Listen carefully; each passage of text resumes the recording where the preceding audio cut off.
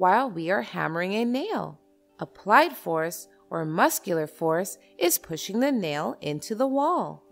And friction, it is opposing the movement. Now let's see forces acting while we are running. We are applying muscular force to move forward.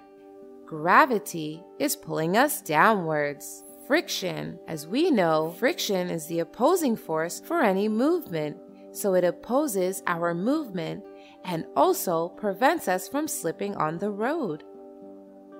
Air resistance is also a type of friction that is posed by the air and prevents anything moving and decreases the speed of the moving object.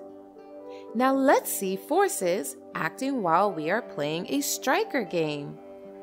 We apply muscular force or applied force to move the striker ahead, friction. Friction is always there when the two objects are in contact, and here the striker and the board is in contact.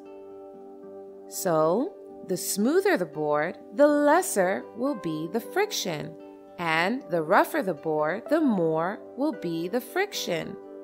Here, the surface of the board is very smooth, so it possesses little friction and the striker goes very far. Now let's see forces acting in this table fan. Mechanical force. Blades of the fan are moving fast through the mechanical force of the motor inside the fan. Moving air force. Moving air has force that blows away the lighter objects in front of it. And here are the forces acting while rowing a boat. Let's see. Muscular force. We are using the muscular force to move the oar of the boat to pull the water backwards and move the boat forwards. Friction. It is because of friction that we can hold anything firmly. We can hold the oar because of the friction between our hands and the oar. If the oar is slippery or the hands are slippery, we cannot hold it.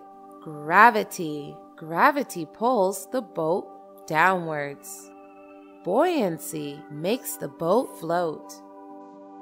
Thank you so much for watching. Don't forget to like, comment, and share this video.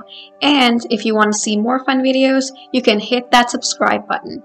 You can also follow us on Facebook and Instagram for more content. Bye-bye!